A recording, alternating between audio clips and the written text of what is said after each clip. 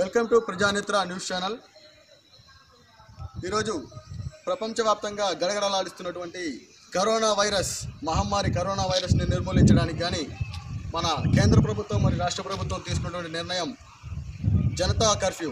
ఈ జనతా కర్ఫ్యూని ముఖ్యంగా మన ఖమ్మం నగరంలో చూస్తున్నట్లయితే మనం ఇప్పుడు బస్టాండ్ పరిధిలో ఉన్నాం. ముఖ్య ఖమ్మం నగరం బస్టాండ్ పరిధిలో ఉండడం జరిగింది. ఇక్కడ చూసుకున్నట్లయితే ఏ వాహనం కానీ బస్సు కానీ ఇక్కడ అందుబాటులో కనిపిస్తలేదు.